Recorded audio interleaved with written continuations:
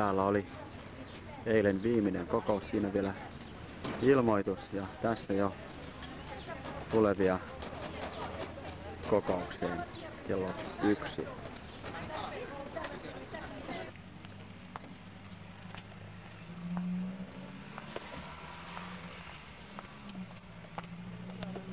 Joku on naulannut näköjään tuohon oveen tällaisen